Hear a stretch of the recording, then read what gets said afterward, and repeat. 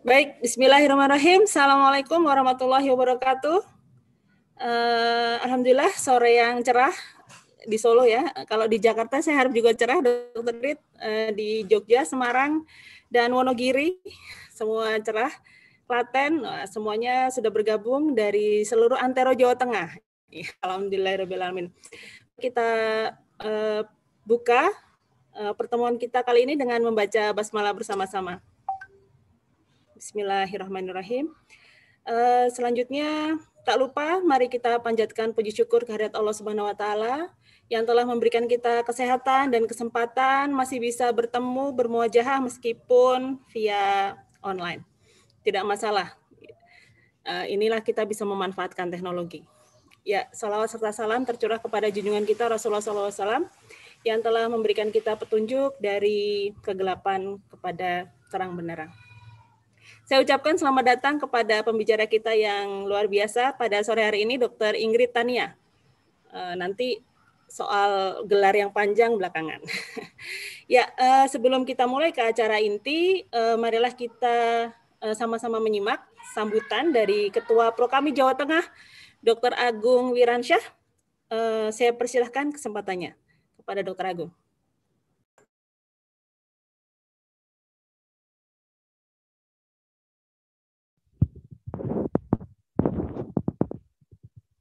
Assalamualaikum warahmatullahi wabarakatuh. Bismillahirrahmanirrahim. Alhamdulillahirabbil alamin. Wassalatu wassalamu ala asrafil anbiya wal mursalin sayyidina Muhammadin wa ala alihi wa sahbihi ajmain. Amma ba'du.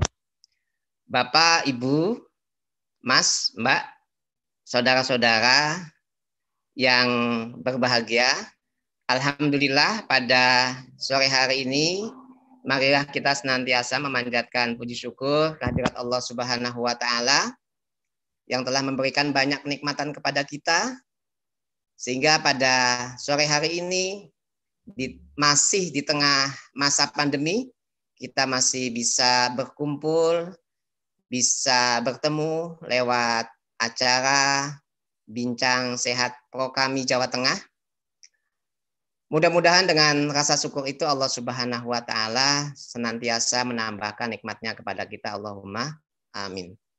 Salawat dan salam kita aturkan semoga terlimpah kepada junjungan kita Nabi besar Muhammad Shallallahu alaihi wasallam. Bapak, Ibu, saudara-saudara yang kami hormati, kami banggakan. Alhamdulillah pada sore hari ini Oh, kami Jawa Tengah kembali bisa menghadirkan satu kegiatan seminar kesehatan dikemas uh, dalam acara bincang kesehatan, bincang sore hari. Insya Allah nanti akan disampaikan oleh Dokter Dokter Ingrid Tania MSc. Tentu kita berharap dari kegiatan ini kita bisa mengambil manfaat yang sebanyak-banyaknya. Sebagaimana kita ketahui kasus COVID ya atau pandemi 19 terus meningkat ya secara nasional. Ya, kasusnya terus meningkat. Apalagi menjelang akhir tahun libur panjang di mana terjadi banyak pergerakan manusia diperkirakan ya akan terjadi peningkatan. Sehingga kita tentu tetap harus uh, peduli ya. Kita tetap harus waspada agar uh, kita bisa uh, melewati masa sulit ini dalam ya, dalam keadaan aman baik bagi diri kita, keluarga kita maupun masyarakat di sekitar kita. Nah, tentu banyak sekali upaya yang dilakukan ya oleh masyarakat ya. Eh, banyak upaya-upaya pencegahan, upaya-upaya preventif ya. Eh, salah satunya yang sering kita dengar adalah bagaimana eh, memanfaatkan ya, atau menggunakan pengobatan tradisional ya. Tentu budaya kita, masyarakat kita sangat banyak ya, sangat kaya akan pengobatan tradisional. Masih banyak tentu pertanyaan-pertanyaan di masyarakat ya apakah pengobatan herbal, apakah pengobatan eh, tradisional ya ini bisa atau boleh ya atau dapat ya mengatasi eh, penyakit COVID-19 ini. Sehingga pada sore hari ini kami Jawa Tengah kembali menghadirkan ya satu perbincangan uh, dengan menghadirkan uh, ahlinya ya uh, Dokter Dokter Ingrid uh, Tania MSc untuk berbicara, berbagi pengalaman, berbagi ilmu kepada kita semua. Harapan kami mudah-mudahan kegiatan pada sore hari ini bisa bermanfaat buat kita semua. Bermanfaat ya Eh, untuk eh, kita melakukan eh, upaya-upaya pencegahan, upaya-upaya preventif di dalam menghadapi pandemi pada saat ini. Kemudian pada kesempatan yang berbahagia ini saya mengucapkan terima kasih kepada Dr. Dr. Ingritania MSC yang sudah menyediakan waktu ya, sudah bersedia untuk berbagi ilmu bersama kami. Mudah-mudahan Eh, Allah Subhanahu wa taala memberikan eh, kebaikan, keberkahan bagi ilmu eh, yang telah bisa diberikan kepada kami semua. Terakhir, kami mohon maaf apabila ada ya tentu kelemahan, kekurangan di dalam penyelenggaraan acara pada sore hari ini. Kami mohon maaf yang sebesar-besarnya. Terakhir, maaf saya lupa. Terima kasih kepada semua pihak yang sudah memberikan bantuan, partisipasi, termasuk juga sponsor ya, sehingga acara pada jalan dengan baik. Demikian dari saya sedikit sambutan, kurang lebihnya mohon maaf. Bila itu wa hidayah. Assalamualaikum warahmatullahi wabarakatuh. Waalaikumsalam warahmatullahi wabarakatuh. Terima kasih Dr. Agung Wiransyah atas sambutannya. Uh, tiba saatnya uh, kita akan langsung kepada acara inti. Sebelumnya uh, izinkan saya memperkenalkan diri. Saya Indriati Oktaviano yang insya Allah akan mengawal acara ini hingga akhir. Um, tema kita kali ini sangat menarik ya, terkait dengan uh, bagaimana kita melawan COVID dari sisi herbal.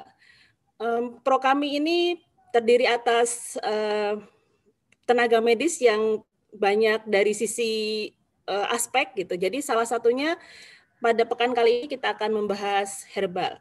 Seperti kita ketahui juga herbal itu salah satu um, kearifan lokal Indonesia, terutama Jawa Tengah ya.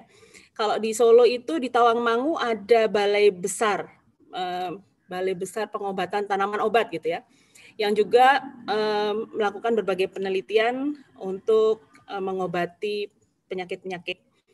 Meskipun kalau kita garis bawahi uh, pengobatan herbal ini tetap harus terus dijalankan aspek dari penelitiannya, uji klinisnya kepada manusia sehingga uh, tetap bisa dipertanggungjawabkan secara medis.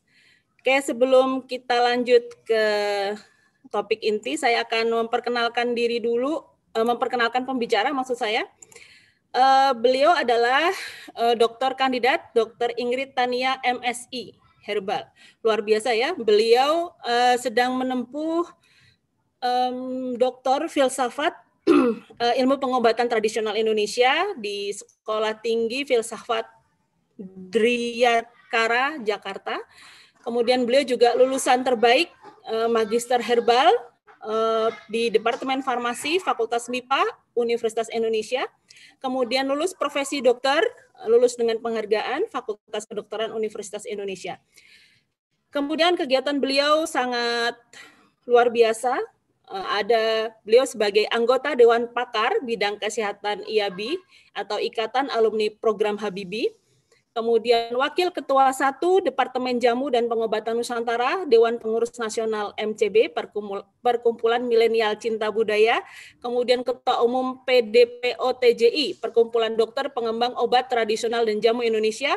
Ketua Umum Yasa Indo, Yayasan Sahabat Anak Indonesia, eh, Sahabat Anak Istimewa Indonesia, Member of the Asian Society of Pharmacognosy, kemudian Sekretaris Divisi Klinik Pengobatan Tradisional dan Komplementer, Sekretaris Bidang Pengembangan Pelayanan Primer ID uh, wilayah DKI Jakarta kemudian anggota bidang kajian pengobatan komplementer pengurus pusat PDUI, ketua 2 ADSJI atau Asosiasi Dokter Saintifikasi Jamu Indonesia, kemudian juga radio dan TV herbal speaker, kemudian editor of Asian Journal of Pharmacognosy, kemudian National International Speaker of Conference on Traditional Medicine atau Herbal Medicine, kemudian independent herbal konsultan dan dosen peneliti obat tradisional atau obat herbal luar biasa uh, kiprahnya di dunia herbal jadi tidak diragukan lagi apabila beliau uh, berbicara masalah kedokteran herbal. Oke, uh, untuk Dokter Dokter Ingrid Tania MSI, saya persilahkan untuk waktu dokter 40 menit ke depan. Saya persilahkan uh, lang langsung saja, Dok. Baik. Assalamualaikum warahmatullahi wabarakatuh. Eh, selamat sore. Uh, terima kasih Bu Indri atas kesempatannya. Uh, yang terhormat Dr. Agung ya, Ketua Pro kami. Juga di sini ada kawan saya Dr. Anta dan teman-teman saudara-saudaraku di Pro kami Jawa Tengah. Uh, saya langsung aja ya karena slide saya banyak nih sebenarnya ada 60 slide tapi ya nanti semoga cukup waktunya. Saya langsung izin share screen ya Bu Indri. Langsung dokter, persilakan. Ya. Baik. Jadi eh, judul yang mau saya sampaikan itu tentang potensi herbal dalam penanganan COVID-19. Nah, ini outline dari presentasi saya. Jadi eh, eh, saya akan mengulas sedikit tentang eh, pentingnya mencegah penularan dan meningkatkan imunitas pada masa pandemi COVID-19 karena eh, saya lihat eh, di sini juga pesertanya ada yang umum juga ya. Jadi ini kalau yang peserta yang tenaga medis, tenaga kesehatan sih mestinya sudah sangat paham. Kemudian ada nanti saya lanjut bahas imunomodulator Kemudian nanti saya akan singgung herbal sebagai imunomodulator, lalu potensi herbal sebagai antivirus. Kemudian nanti saya akan membahas beberapa herbal potensial untuk COVID-19. Ya. Terakhir take home message ya, atau kesimpulan. Jadi, eh, tapi saya yakin masyarakat umum juga sudah sangat paham dan mengenal apa itu pandemi ya, apa itu pandemi COVID-19 dan penanganannya yang saya mau highlight di sini bagaimana Eh, mencegah penularan dan terutama juga dari sisi uh, meningkatkan uh, imunitas ya.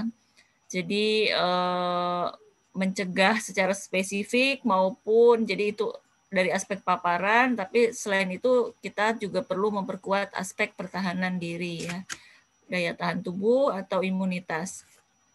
Nah, ini sorry saya belum uh, update lagi uh, uh, per tanggal hari ini, tapi intinya kita sudah tahu bahwa uh, jumlah yang terpapar COVID-19 juga masih uh, terus meningkat ya uh, di di Indonesia dan kita berharap uh, kita tetap uh, semangat bersatu padu untuk me melawan COVID-19 ini sehingga bisa segera berakhir ya.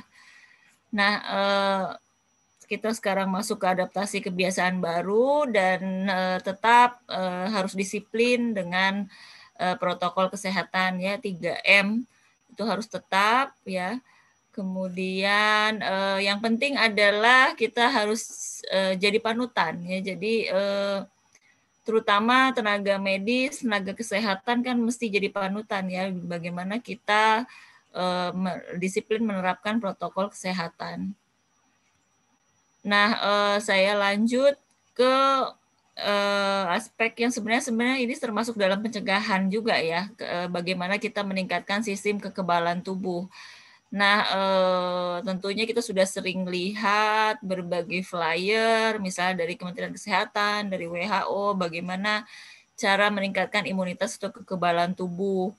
Nah, eh, kita juga, saya yakin kita juga tahu ya bahwa meningkatkan imunitas tubuh itu kan perlu eh, secara komprehensif ya atau holistik, eh, menyangkut misalnya bagaimana kita perlu mengkonsumsi gizi lengkap seimbang, kemudian jangan sampai dehidrasi ya, harus cukup juga cairan, kemudian istirahat juga cukup, lalu ada aktivitas fisik ya misalnya tiga kali per minggu atau lebih ideal setiap hari selama setengah jam. Kemudian juga mengendalikan penyakit penyerta jika ada dan tidak merokok sudah pasti ya karena kalau merokok itu akan menurunkan imunitas dari sistem pernafasan. Kemudian ada pertimbangan untuk mengkonsumsi suplemen vitamin dan mineral.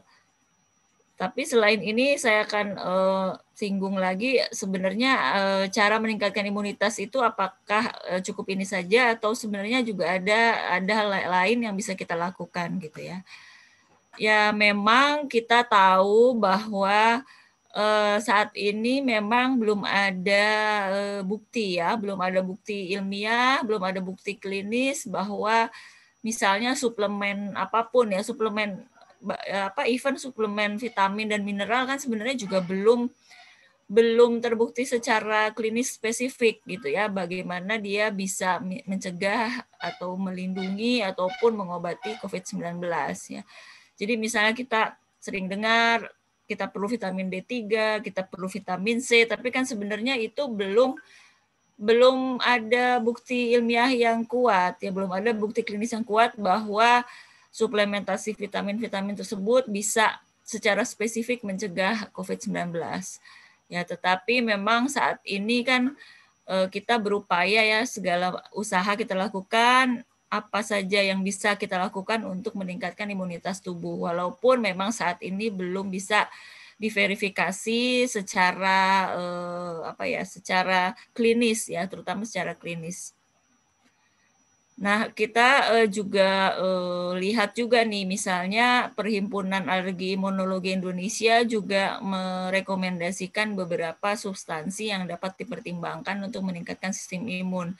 Tadi saya sempat singgung misalnya vitamin D3, kemudian zinc, juga probiotik. Nah, ini yang beberapa substansi yang Eh, sampai saat ini sudah mulai banyak eh, terkumpul beberapa evidence ya atau bukti-bukti ilmiah tapi memang belum cukup ya kalau di di di artinya ini masih berupa rekomendasi.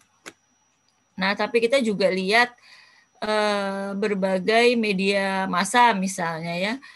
Ini saya ambil dari salah satu media misalnya CNN Indonesia. Di sini ada ada cara tambahan nih untuk menjaga imunitas tubuh. Di sini ada ada tertulis minum campuran jahe dan lemon.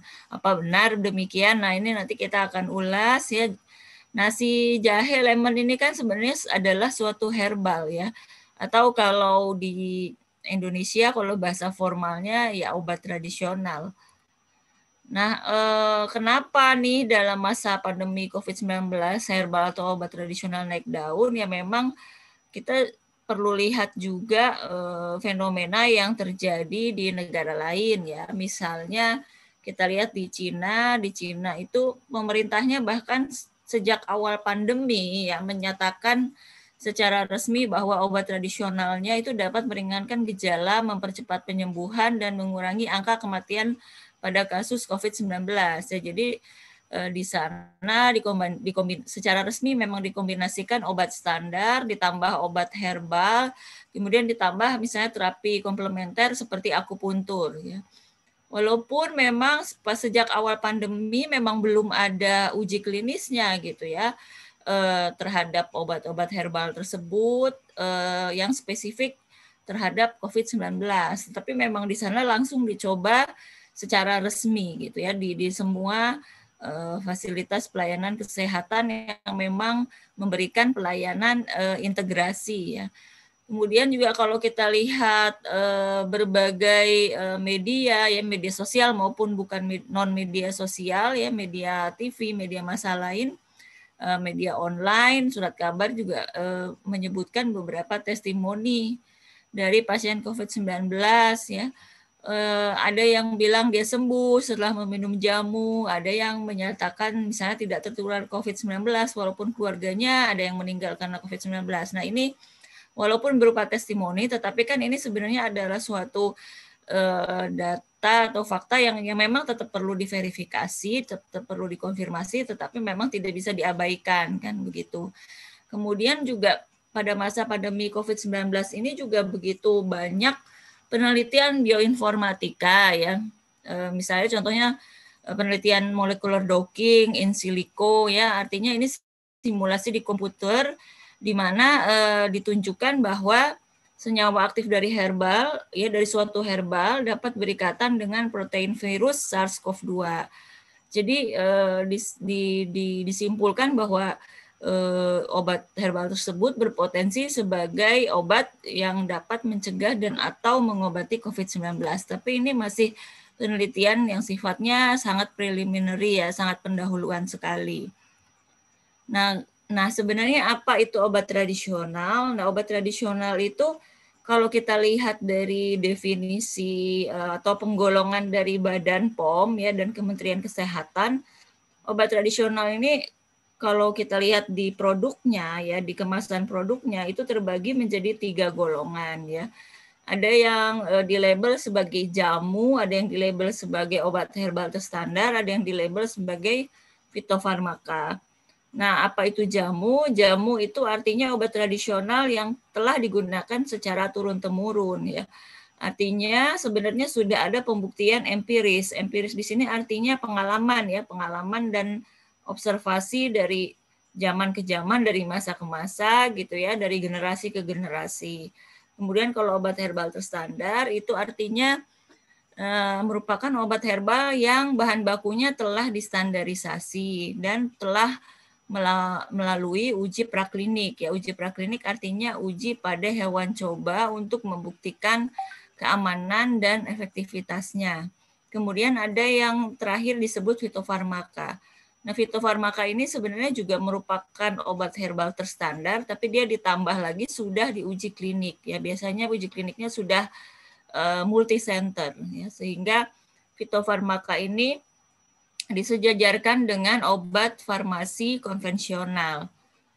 Tetapi sebenarnya jamu ini kalau kita lihat definisi secara luas, sebenarnya jamu itu juga bisa disebut sebagai obat tradisional Indonesia ya seperti misalnya eh, kita eh, melihat Jepang ya. Jepang itu menyebut obat tradisionalnya sebagai kampo medicine ya. Kemudian misalnya Korea menyebut obat tradisionalnya sebagai sasang medicine. Nah sebenarnya bisa juga kita sebut segala macam obat tradisional Indonesia kita sebut sebagai jamu medicine ya atau jamu saja misalnya. Nah eh, jadi maksudnya di sini kata-kata tradisi karena memang dia merupakan warisan budaya yang turun temurun. Tadi Bu Indri menyebut kearifan lokal, ya itu terkait dengan itu ya. Kemudian juga eh, karena sudah turun temurun, ya tentunya sudah lama dikenal dan digunakan secara luas. Dan eh, sejak dulu memang digunakan untuk pemeliharaan kesehatan atau upaya promotif, juga untuk pemeliharaan kebugaran dan vitalitas, juga untuk pemeliharaan kecantikan ya pada wanita, kemudian untuk mencegah penyakit juga dan untuk pengobatan penyakit tertentu serta untuk memulihkan uh, setelah sembuh dari sakit misalnya atau setelah melahirkan. Makanya kita tahu ada jamu habis bersalin misalnya ya. Nah, kalau kita lihat uh, melihat uh, sejarah gitu ya. Tadi saya menyinggung tentang empirik ya, bukti empirik artinya bukti pengalaman ya bukti pengalaman dari generasi ke generasi. Nah ini kalau kita lihat dulu di Indonesia ini sebenarnya pernah terjadi pandemi flu Spanyol atau pandemi influenza ya pada sekitar tahun 1918. Nah pada saat itu eh, obat-obat farmasi konvensional itu sangat sulit didapatkan di Indonesia sehingga masyarakat pada masa itu mengkonsumsi jamu untuk uh, menghadapi uh, wabah flu Spanyol tersebut. Nah, jamu yang dipakai apa? Yaitu jamu cabai puyang dan jamu temulawak. Jadi sebenarnya relevan juga kalau misalnya walaupun belum diteliti secara uh, spesifik terhadap COVID-19, diteliti secara klinis, tetapi jamu yang pernah dipakai pada masa wabah influenza dengan gejala-gejala yang tentunya banyak kesamaan dengan COVID-19 eh, relevan juga ya untuk dicoba. seperti halnya di Cina juga seperti itu ya karena sudah sudah ada pandemi COVID-19 di sana langsung dicoba obat-obat herbal, obat-obat tradisionalnya yang memang uh, selama ini dipakai untuk uh, influenza misalnya.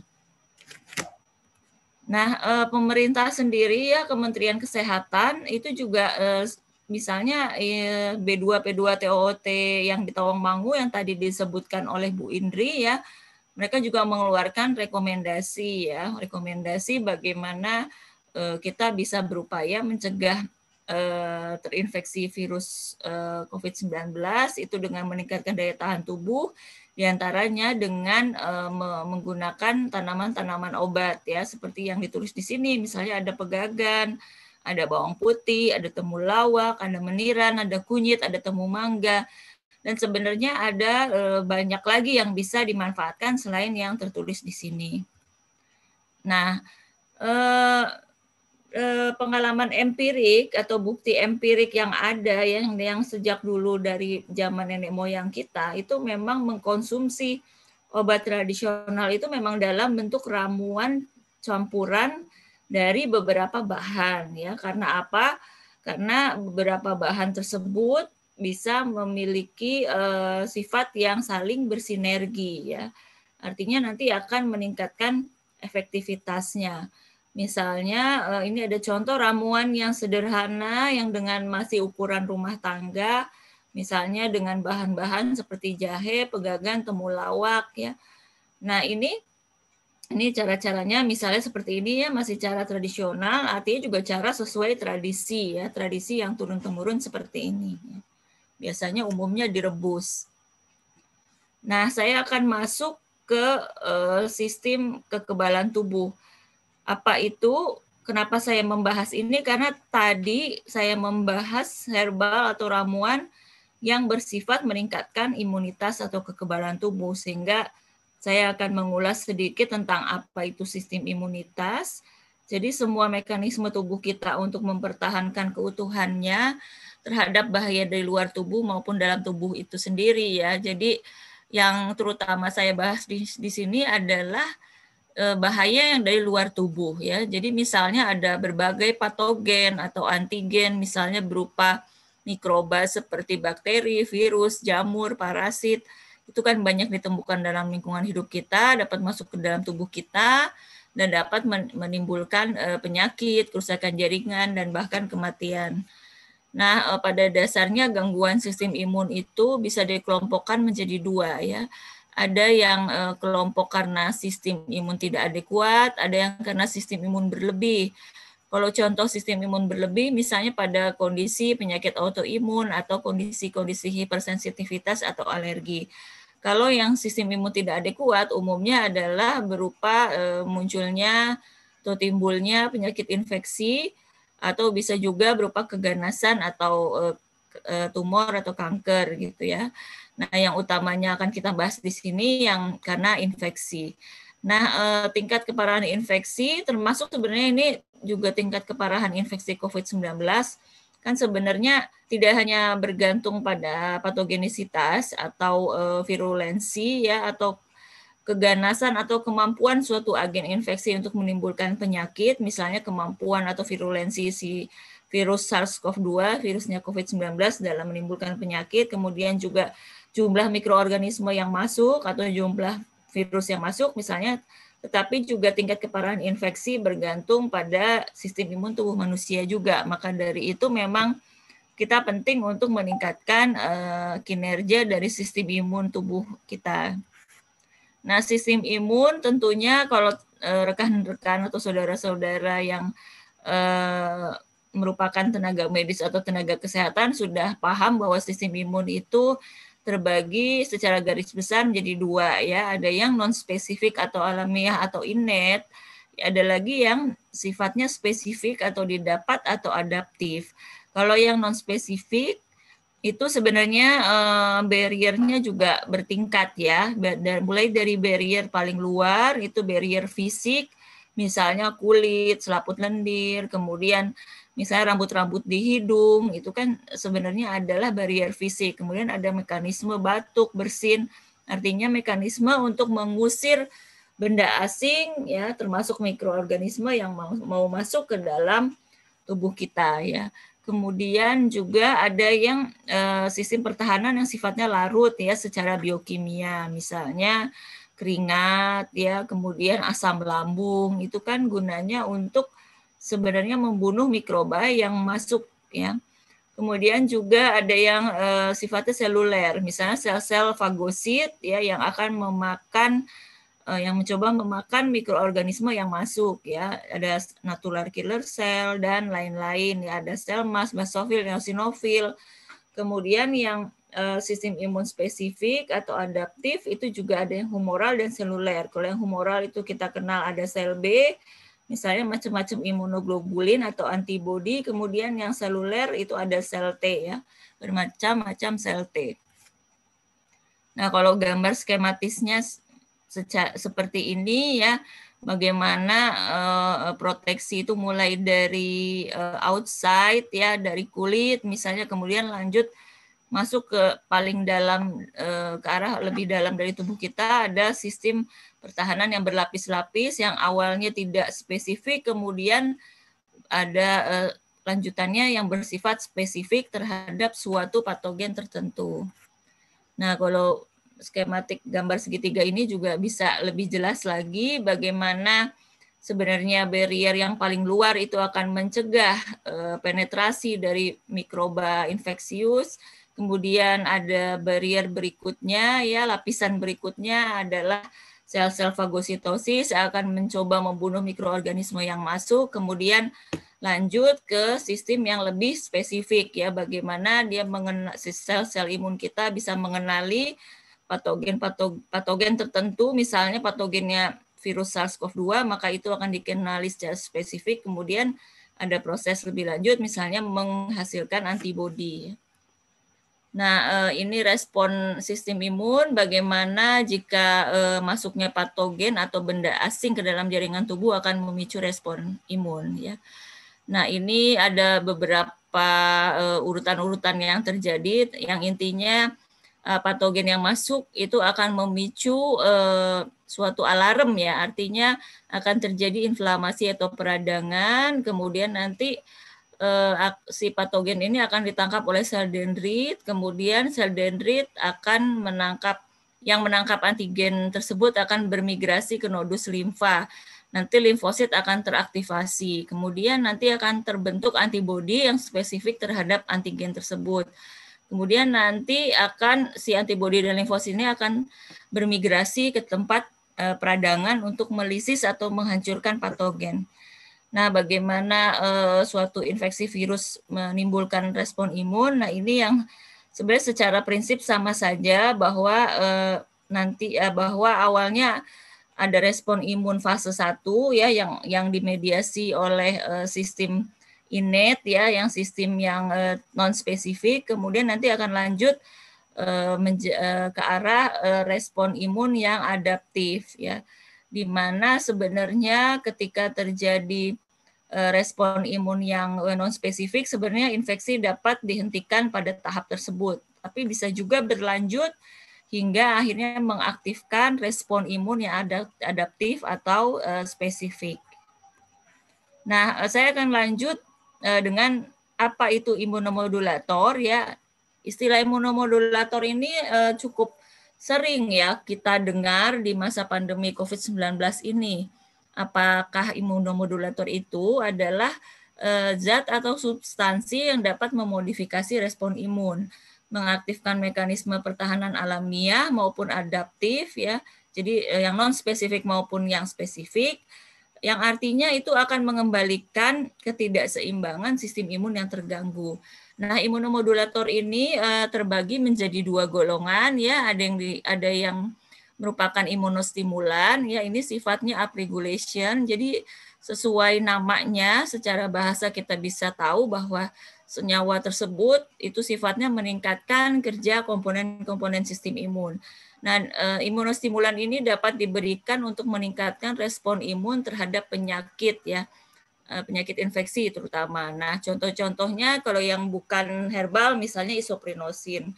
Kemudian juga banyak sekali sebenarnya herbal yang bersifat imunostimulan ya. misalnya yang sudah terkenal Echinacea.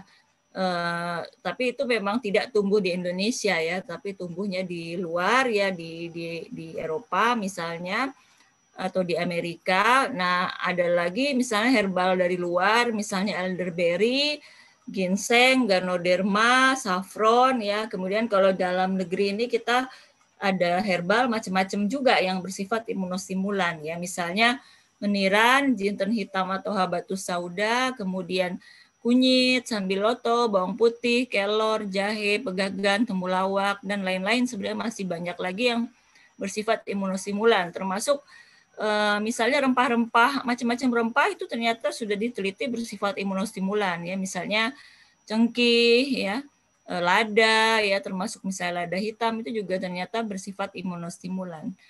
Nah, eh, selain imunostimulan yang berlawanan sifatnya adalah imunosupresif. Nah, sesuai namanya dia bersifat menekan ya, menekan respon imun, yang artinya akan meredakan keadaan hiperinflamasi atau keadaan peradangan yang berlebihan ya. Jadi dipakai untuk mengatasi penyakit autoimun ataupun mencegah penolakan transplantasi organ. Nah, yang akan lebih kita bahas di sini adalah imunomodulator yang bersifat uh, stimulan, yang bersifat stimulasi ya. Nah, eh, ini ada beberapa contoh tanaman obat yang bersifat imunomodulator. Nah, kalau bersifat imunomodulator artinya dia tidak hanya meningkatkan imunitas tubuh, tetapi dia juga punya sifat antiinflamasi ya, karena tadi sesuai definisi imunomodulator dia akan menyeimbangkan ya respon imun yang ada di dalam tubuh kita. Jadi dia juga punya aksi berupa antiinflamasi, misalnya ketika uh, respon uh, inflamasi atau respon dari imun yang berupa peradangan itu terlalu berlebihan nanti akan ditekan oleh uh, senyawa yang bersifat imunomodulator misalnya tanaman-tanaman obat ini.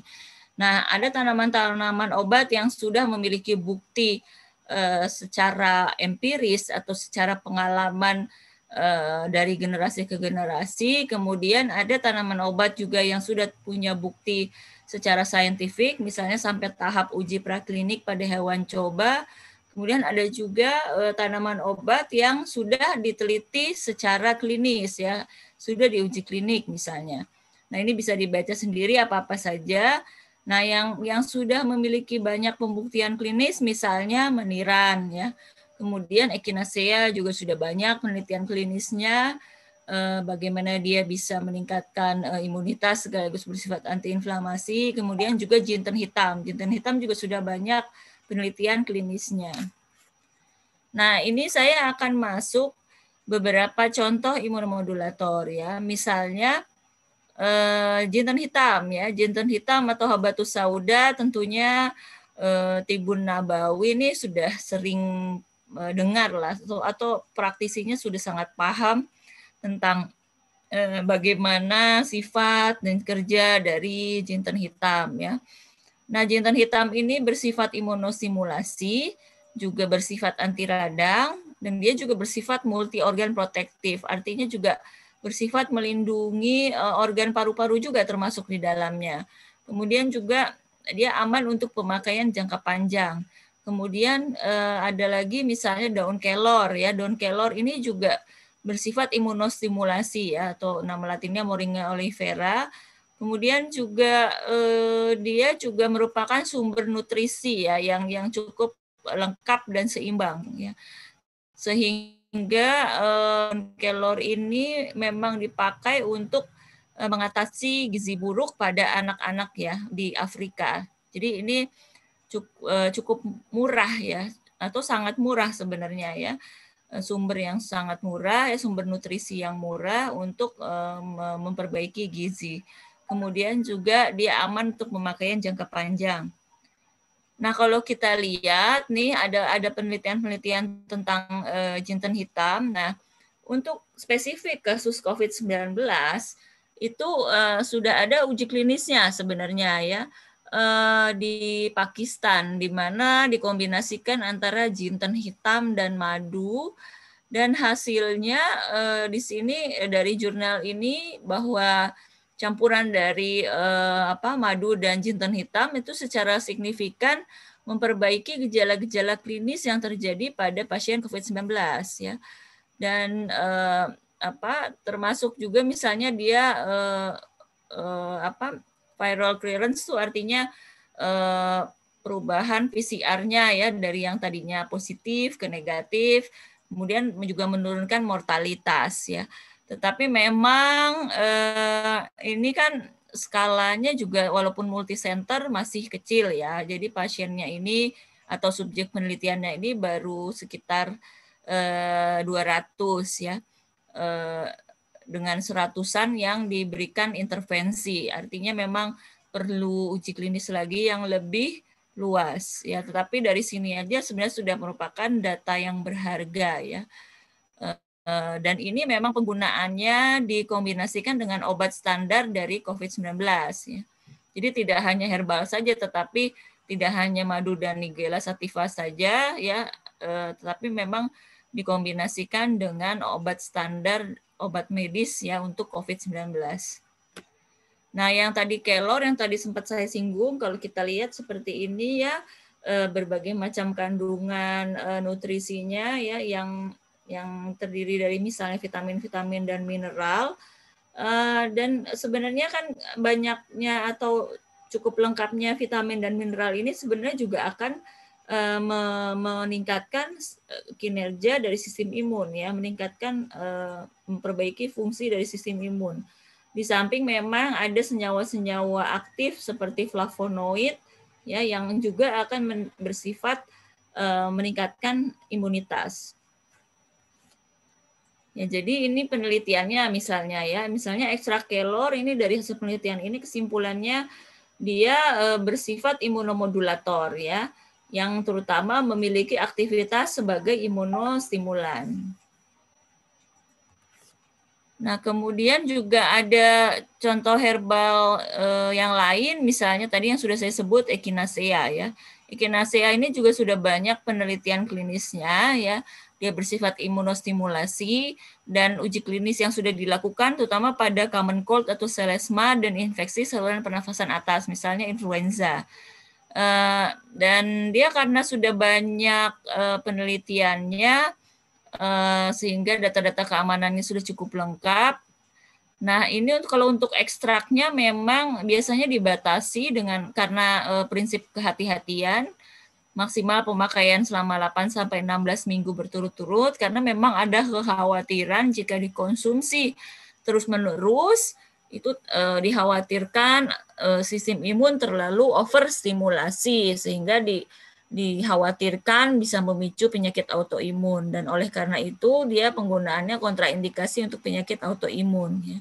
Kemudian juga ada contoh eh, imunomodulator herbal lainnya misalnya sambiloto Sambiloto ini sejak dulu memang dikenal sebagai herbal yang bersifat antivirus ya. Jadi penelitiannya sudah banyak ya termasuk pada kasus eh, misalnya infeksi influenza, virus influenza, infeksi virus hepatitis, misalnya hepatitis B ini sudah banyak diteliti.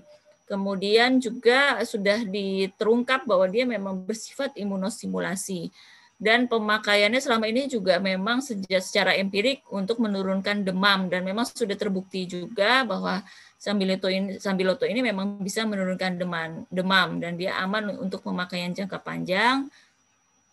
Nah, ini kalau ini eh, penelitian echinacea jadi ada ada review terhadap beberapa penelitian klinis echinacea yang memang ternyata sudah secara luas juga dipakai di beberapa negara untuk eh, maksudnya dalam dalam ranah pencegahan maupun ranah pengobatan dari COVID-19. Nah, eh, dari situ terungkap bahwa echinacea juga meningkatkan fungsi imun ya seperti pada eh, kondisi yang lain ya tidak hanya pada eh, kondisi COVID-19. Kemudian juga eh, pada COVID-19 ini juga terungkap bahwa echinacea ini juga tidak memicu terjadinya badai sitokin pada COVID-19 karena dia menurunkan level sitokin proinflamasi. Selama ini dikhawatirkan echinacea ini bisa memicu badai sitokin, tetapi dari hasil uh, penelitian ini ya terungkap bahwa ternyata tidak uh, diamati bahwa tidak tidak terjadi badai sitokin ya. Bahkan dia bisa menurunkan level sitokin proinflamasi. Nah, kalau ini penelitian uh, senyawa aktif dari sambiloto ya. Senyawa aktif dari sambiloto ini uh, lewat penelitian bioinformatika ya yaitu dengan uh, pendekatan in silico dia ternyata bersifat antivirus SARS-CoV-2 ya. Tetapi kan ini baru penelitian bioinformatika atau penelitian simulasi di komputer yang mensimulasikan adanya ikatan antara andrografolit atau senyawa aktif dari sambiloto terhadap empro ya daripada virus SARS-CoV-2 ya. Jadi empro ini sejenis protein virus ya. Nah, saya akan lanjut ke meniran ya. Meniran atau nama latinnya Philanthus niruri, meniran ini termasuk eh, tanaman obat asli Indonesia ya. Dan dia bersifat imunostimulasi dan sudah ada uji klinisnya, dia mempercepat penyembuhan infeksi virus cacar air dan juga sudah ada uji klinisnya pada kasus tuberkulosis paru ya. Dan tentunya juga aman untuk pemakaian jangka panjang. Kenapa dia bersifat imunostimulasi? Karena memang mengandung senyawa-senyawa aktif yang bersifat imunomodulasi ya, misalnya filantin ya, metilgalat, quercetin ya, ini adalah beberapa senyawa aktif daripada meniran. Nah, eh, kalau ini ini menunjukkan eh, hasil penelitian yakni ekstrak meniran itu punya aktivitas berupa imunostimulasi ya dan penggunaannya memang relevan untuk penyakit-penyakit infeksi. Nah, kemudian saya lanjut ke jahe. Ini jahe ini juga sangat populer ya. Jahe atau nama latinnya Zingiber officinale, dia bersifat imunostimulasi juga dan juga bersifat anti radang atau anti inflamasi dan jahe ini juga bisa meredakan batuk dan meredakan gangguan pencernaan. Sehingga memang relevan juga jika diberikan pada pasien COVID-19 misalnya ya sebagai terapi komplementer melengkapi eh, pengobatan standar. Karena di mana memang pada COVID-19 juga banyak terjadi gejala berupa batuk, gangguan pencernaan, kemudian juga eh, akan eh, membantu misalnya mengatasi keluhan mual akibat efek samping daripada obat standar ya. Eh, misalnya pemberian eh, kloroquine, doksikloroquine ya atau azitromisin itu kan sering kali menimbulkan efek samping berupa mual ya. Kemudian juga jahe tentunya kita sudah tahu dia aman untuk pemakaian jangka panjang ya.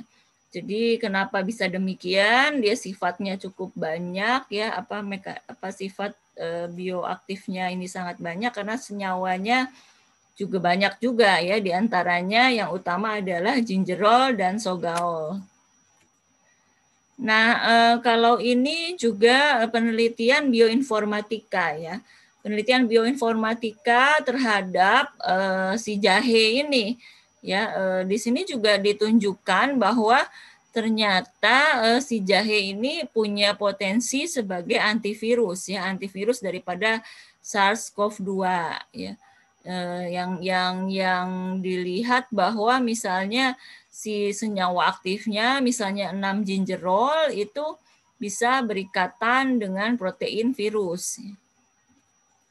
Kemudian oh, saya lanjut ke kunyit. Mungkin, Kenapa? Uh, bisa lima menit lagi dokter untuk penjelasannya terkait waktu. Gimana? Gimana? Menit lagi dokter. Tinggal berapa waktunya? Uh, karena sudah banyak lima menit dokter. Mohon oh, maaf. Oke oke okay, ini ini enggak uh, mestinya ah, sih enggak, enggak banyak lagi kok. Oke. Oke. Ya, terima kasih dokter. Iya, ini juga suaranya delay juga ya. Uh, jadi kalau kunyit, kunyit juga bersifat imunostimulan, bersifat anti radang, juga dia memelihara sistem pencernaan. Jadi mirip dengan jahe ya aman umum untuk pemakaian jangka panjang juga dan eh, dannya eh, sifat seperti ini karena peranan dari senyawa aktif kurkuminoid ya yang terdiri dari kurkumin, demetoksikurkumin dan bisdemetoksikurkumin. Kemudian ini penelitiannya juga yang menunjukkan kurkuminnya punya efek imunomodulasi dan pada penyakit virus Ebola dan juga penyakit virus influenza si kurkumin yang terkandung dalam kunyit ini ternyata mampu menghambat terjadinya badai sitokin ya. Dan diduga dia juga mampu menghambat badai sitokin pada kasus COVID-19. Ini saya memberi contoh juga temulawak ya, Java turmeric ini temulawak, temulawak juga mirip dengan kunyit ya, bersifat imunostimulasi ya. Selain itu juga akan meningkatkan nafsu makan sehingga memang baik jika diberikan pada orang yang sedang masa pemulihan dari penyakit infeksi. Kalau ini saya mau menunjukkan bahwa Badan POM sendiri sudah mengeluarkan buku pedoman tentang penggunaan herbal dan suplemen kesehatan terkait COVID-19. Artinya walaupun eh, pembuktian klinisnya belum banyak, tetapi memang sudah direkomendasikan. Karena apa? Karena memang ya sebenarnya obat-obat standar sendiri juga obat standar untuk COVID-19 juga eh, belum data-data klinis eh, data-data dari hasil uji klinis juga belum ada ya atau bahkan kalaupun ada belum lengkap sehingga eh, memang segala macam yang bisa potensi untuk digunakan kita relevan saja untuk digunakan. Ya, ini kencur saya kasih contoh ya. Kencur juga sama sifatnya imunomodulator. Kemudian ini mekanisme imunostimulasi oleh herbal itu bagaimana kita bisa lihat di sini bagaimana sebenarnya uh, si herbal ini sebenarnya dapat memediasi respon imun yang sifatnya eh, non spesifik maupun spesifik ya artinya dia bisa menstimulasi sel T makrofag kemudian juga memodulasi sekresi dari imunoglobulin A misalnya imunoglobulin M interferon interleukin dan lain-lain Nah, ini yang sebelah kanan juga menunjukkan bagaimana si jahe dan kunyit ini bisa punya efek imunomodulasi. Nah, jadi sebenarnya imunomodulator herbal ini bisa menstimulasi self regulating capacity ya. Jadi daya tahan tubuh meningkat. Kalau daya tahan tubuh meningkat artinya menurunkan kerentanan terhadap infeksi dan memulihkan secara cep lebih cepat ya daripada penyakit infeksi. Dan jika misalnya yang terkena anak kemudian anak diberikan imunomodulator herbal ini sudah ada penelitiannya juga di India bahwa ternyata tumbuh kembang si anak menjadi lebih optimal. Ya, kalau, nah ini juga saya di sini mengungkapkan di slide ini saya mengungkapkan bagaimana si herbal itu juga dengan senyawa aktifnya ternyata punya sifat sebagai antivirus, yang artinya juga punya potensi eh, eh, sebagai antivirus dari SARS-CoV-2.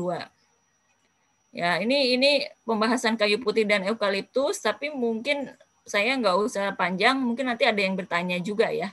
Jadi eh, kayu putih dan eukaliptus adalah sesuatu yang berbeda ya sering sering kali disamakan padahal sebenarnya berbeda. Yang ada di Indonesia itu sebenarnya kayu putih, tetapi yang dikembangkan oleh Kementerian Pertanian adalah eukaliptus. Ya. Artinya dia ditanam lagi di sini yang sebenarnya tanamannya awalnya tidak ada di Indonesia. Nah, eh, hati-hati ya karena bisa eh, menimbulkan eh, apa memicu serangan asma pada penderita asma kalau kita menghirup minyak kayu putih ya. Jadi hati-hati pada orang yang dengan asma. Nah, eh, nanti akan saya mungkin dari ditanya jawab nanti ada yang nanya. Biasanya saya kalau ngisi materi tentang ini banyak yang nanya nih tentang kayu putih dan eukaliptus ya. Kenapa memang tidak dianjurkan minyak kayu putih itu diminum ya? Ada ada banyak beredar eh, WA di, di berbagai grup WA ada anjuran misalnya minyak kayu putih beberapa tetes di, di, di, dicampur dengan air terus diminum ya. Tapi itu tidak dianjurkan. Kenapa? Karena alasan keamanan. Dan kenapa uh, kita khawatirkan alasan keamanan nanti akan kita bahas lebih lanjut. Tetapi memang uh, produk minyak kayu putih yang beredar saat ini ini sudah tidak murni kayu putih lagi ya. Itu yang makanya kita harus ragukan keamanannya. Ini eukaliptus. Ini menunjukkan penelitian di mana penelitian bioinformatika eh, menunjukkan bahwa si eh, kayu putih ini juga punya potensi sebagai antivirus COVID-19. Ini juga kalau yang ini menunjukkan bagaimana eh, senyawa aktif di eukaliptus juga menunjukkan punya sifat sebagai antivirus ya, juga melalui penelitian bioinformatika. Ini kalau uji prakliniknya baru pada virus influenza ya, pada tikus. Nah, artinya intinya memang kalau kayu putih dan eukaliptus belum diteliti secara klinis ya. Kemudian saya menyinggung sedikit tentang yang banyak uh, populer juga uh, yang yang utamanya banyak broadcast dari Ustadz Adi Hidayat misalnya ya tentang Kus al-Hindi atau Indian Costus ya bahwa memang si uh, Indian Costus ini memang sudah diteliti akan meningkatkan respon imun dia bisa meningkatkan respon imun atau sifatnya imunomodulator. Kemudian juga pada uh, diuji klinikan pada uh, hepatitis B kronik ternyata dia punya sifat sebagai antivirus hepatitis B ya. Tetapi memang belum diuji pada virus SARS-CoV-2 ya, virus COVID-19. Nah, artinya memang uh, kita perlu obat tradisional yang sudah terbukti secara saintifik dan ini didukung oleh WHO ya. Ya, ini salah satu kalau yang ini salah satu upaya dari kami ya Perkumpulan Dokter Pengembang Obat Tradisional dan Jamu Indonesia untuk melakukan uji klinik jamu atau herbal imunomodulator asli Indonesia yang perdana untuk COVID-19. Dan itu hasilnya sekarang sedang dalam masa penulisan laporan akhir, jadi semoga kita harapkan bisa memberikan rekomendasi untuk uh, penanganan COVID-19 di Indonesia. Dan ini kesimpulannya bahwa sebenarnya banyak sekali herbal yang telah digunakan turun-temurun dari generasi ke generasi yang berpotensi dimanfaatkan dalam menghadapi pandemi COVID-19 karena bersifat imunomodulasi, bersifat termasuk di dalamnya ada sifat anti peradangan, kemudian ada potensi sebagai antivirus ya terlebih dalam masa adaptasi kebiasaan baru dan herbal-herbal ini semakin banyak terkonfirmasi keamanan dan khasiatnya melalui penelitian in vitro, praklinik dan klinik dan ada nilai plus yang kita dapatkan ya dengan pemanfaatan herbal dalam negeri ya artinya kita menjaga warisan pengetahuan tradisional tentang penyehatan atau penyembuhan membudayakan tradisi ilmiah juga melalui penelitian serta memajukan ekonomi, pertanian, industri bangsa sendiri ya. Artinya kita menuju kemandirian kesehatan ya. Demikian uh, yang bisa saya sampaikan. Mohon maaf jika melewati waktu. Uh, mohon maaf juga jika ada kekurangan. Saya kembalikan kepada Bu Indri. Uh, saya stop share ya. Oke, Barakallah, Masya Allah. Uh, aplaus dulu dong buat Dokter Ingrid. Uh, sore ini jadi makin hangat dengan pembicaraan herbal dan luar biasa banyak chat pertanyaan, tapi kok rasa-rasanya sudah terjawab semua tuh tadi ya. Oh, uh, gitu ya. jadi tadi ada imuno ada imunomodulator juga ya, ada imunosupresan dan sebagainya. Um, ada beberapa pertanyaan nih dok dari uh, peserta terkait dengan yang tadi dok katakan di slide-slide akhir yang kustul hindi itu ya, yang Ustadz Adi Hidayat Hmm. Ini ada pertanyaan dari dua orang, dari Kiki di Cikarang. Oh ternyata nggak cuma Jawa Tengah loh, Cikarang tuh Bekasi. Datang hmm. juga ke sini, masya Allah.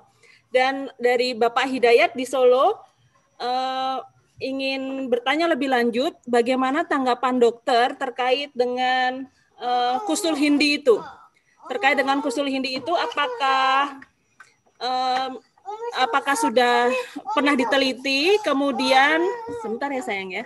Apakah sudah pernah diteliti dan apakah uh, dokter ada apa ada linknya ke Ustadz Adi Hidayat gitu? Oh, kalau belum ada katanya ada yang mau mengkonekkan gitu ke manajernya Ustadz Adi Hidayat. Iya, iya. mohon tanggapannya dokter Iya, iya. Jadi sebenarnya dari awal Ustadz Adi Hidayat e, membicarakan ini ya atau merekomendasikan Kusul Al Hind Kusul Hindi ini, Kus Al Hindi ini, saya sudah pernah dihubungi oleh uh, beberapa dokter yang kerabatnya beliau gitu ya, yang yang intinya berkonsultasi dengan saya bagaimana tentang ini gitu ya, tentang Kusul Hindi ini ya saya lalu memberikan jurnal-jurnal ya, jurnal-jurnal yang jurnal-jurnal penelitian terkait kusul hindi dan memang eh, si kusul hindi ini tadi seperti yang saya presentasikan memang punya sifat sebagai imunomodulator ya artinya meningkatkan eh, kinerja dari sistem imun kemudian juga eh, ya punya potensi sebagai antivirus juga ya karena penelitian yang sebelumnya ada ada sifat antivirus misalnya tadi ya eh, sifat antivirus terhadap virus hepatitis B. Jadi ya bisa juga dia punya sifat antivirus terhadap COVID-19 juga. Jadi memang sebenarnya potensial untuk dikembangkan dan diteliti gitu ya. Kemudian terakhir beberapa hari yang lalu itu juga uh, ada dokter yang lain lagi yang juga merupakan kerabat dari Ustadz tadi Hidayat juga mengontak saya dan beliau bertanya bagaimana ini supaya bisa uh, beredar secara uh, resmi lah di Indonesia ya. Lalu saya sa sampaikan bahwa ya diregistrasi diregistrasikan aja ke Badan POM ya. Diregistrasikan ke Badan POM itu yang penting ada data-data uh, ilmiahnya gitu ya, data-data seperti data-data keamanan terutama data keamanan ya, data keamanan bahwa si uh, si kusul hindi ini memang aman untuk dikonsumsi dan uh, umumnya data kalau kalau dia diregistrasikan sebagai jamu dia cukup sebenarnya cukup data pengalaman empirik aja. Misalnya memang sudah lama digunakan dari zaman Rasulullah gitu misalnya ya atau dari zaman sahabat misalnya itu ada ada ada bukti seperti itu itu udah namanya bukti empirik dan sebenarnya bisa bisa diregistrasikan sebagai jamu ya tetapi memang ada ada ada apa namanya ada concern juga yang menyatakan si Kusul Hindi ini tidak empirik di Indonesia. Artinya eh, dari zaman nenek moyang di Indonesia ini belum pernah dipakai gitu misalnya. Ini dipakainya di negara lain misalnya. Nah, ini biasanya eh, di, dikasih syarat melengkapi dengan data keamanan. Nah, data keamanan itu bisa didapat dari uji toksisitas ya, uji toksisitas misalnya pada hewan coba dan ini sebenarnya tidak tidak sulit ya. Jadi mungkin tiga bulan juga uh, kita bisa dapat sudah dapatkan hasilnya. Jadi bisa bisa dengan cara seperti itu ya. Jadi kemudian kalau mau dilanjut eh, lagi ya bisa diuji klinik gitu. Kalau sudah ada eh, data-data keamanan bisa diuji klinik sebenarnya. Begitu jawaban saya. Jadi sebenarnya kalau mau langsung dikonsumsi juga sebenarnya bagus ya, tetapi kan artinya kalau mau diedarkan secara luas kan harus ada registrasi ya dari Badan POM. Oke baik, uh, terima kasih dokter. Jadi uh, untuk Ibu Kiki dari Cikarang dan Bapak Hidayat di Solo, uh, saya pikir sudah uh, puas dengan jawaban dokter Ingrid. Uh, kalau ada feedback bisa lewat chat. Selanjutnya dok, ini ada dua pertanyaan yang sama. Uh, apakah kalau misalnya kita mau minum obat-obat rempah itu tadi, obat herbal itu tadi, apakah ada takaran tertentu? Uh, misalnya untuk imunomodulator dan bagaimana cara penggunaannya? Misalnya uh, apakah harus stainlessnya, uh, cara merebusnya, ataukah harus pakai stainless atau tertentu, dokter? Oh, suaranya hilang ya? Oke. Okay. Enggak, suaranya hilang ya suaranya. Tadi sempat hilang. Tapi udah ah ya udah oke. Okay. Jadi oh, uh, uh, ini dokter terkait dengan Ya.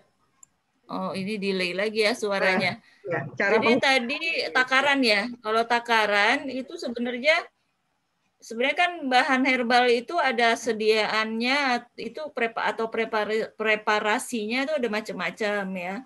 Ada yang bahan segar ya. Kemudian ada lagi bahan kering atau simplicia.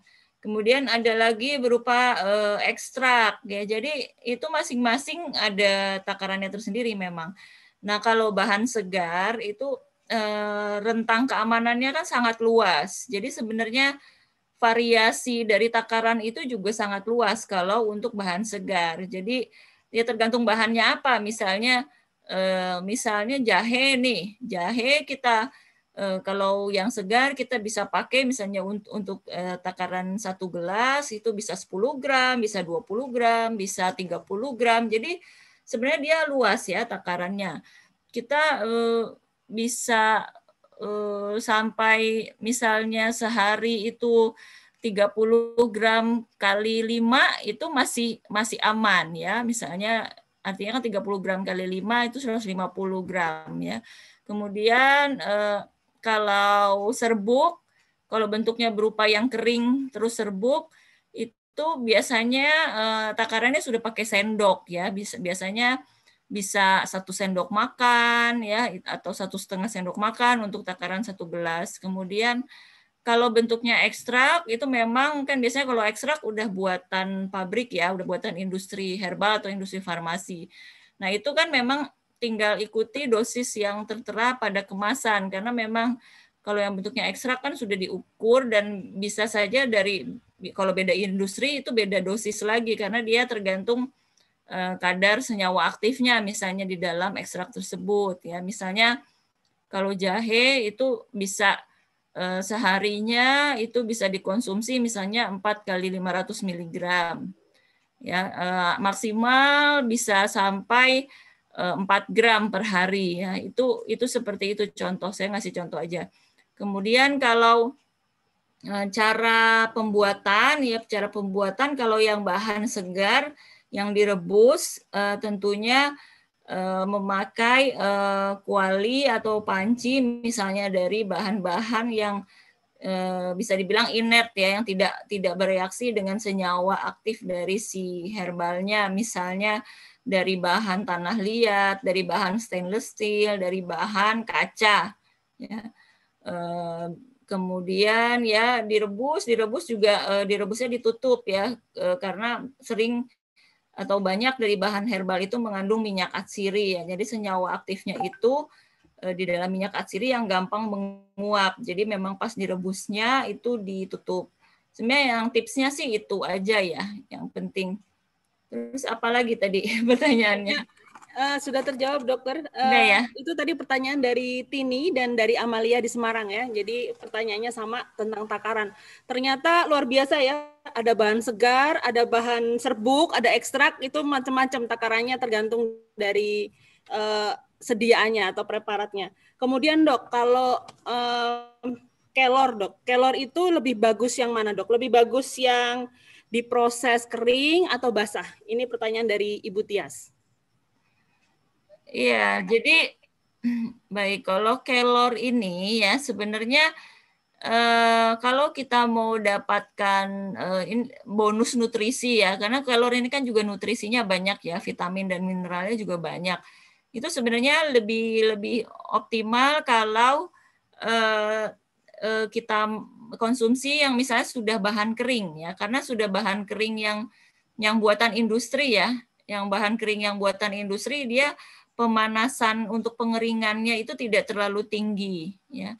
Dan dia eh, pengeringannya misalnya di oven ya dengan suhu tertentu ya. Misalnya suhu 60 derajat misalnya. Jadi tidak sampai eh, seperti suhu kalau kita merebus eh, bahan kelor segar kan bisa kita konsumsi juga kan sebagai sayur misalnya ya sayur bening kan itu pasti sampai mendidih ya kalau sampai mendidih ya memang ada beberapa uh, zat yang tidak utuh lagi lah gitu ya yang bergur yang berkurang.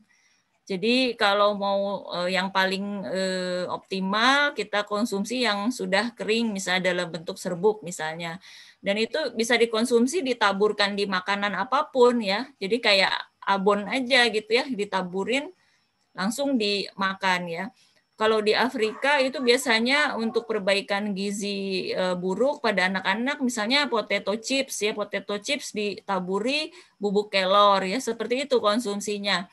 Kalau bukan berarti yang konsumsi sayuran segar tidak baik ya, sebenarnya baik juga. Cuman e, artinya kalau direbus memang ada ada ada zat atau substansi senyawa yang sudah tidak utuh lagi gitu. Oke, baik. Inspirasi baru potato taburan kelor. Taburannya kelor. Boleh dicoba. Soalnya di tetangga banyak sekali kelornya nanti dikeringin. Anak-anak, aduh ini apa? Uh, kelor gitu sekarang. Uh, bisa jadi inspirasi menu gitu ya. Masih banyak nih dok nih pertanyaannya. Uh, pertanyaan selanjutnya, apakah sambiloto dan daun sirih itu juga bisa digunakan dok? Sambiloto dan daun sirih. Iya, kalau, kalau tadi Sambiloto kan saya udah ungkap ya, udah di, di presentasi saya. Jadi memang Sambiloto ini um, memang bersifat imunomodulator ya, bersifat imunomodulasi dan juga punya potensi sebagai antivirus karena memang penelitian sebelumnya memang punya sifat antivirus terhadap virus-virus yang lain ya. Nah, kemungkinan juga bisa bisa punya eh, potensi sebagai antivirus SARS-CoV-2.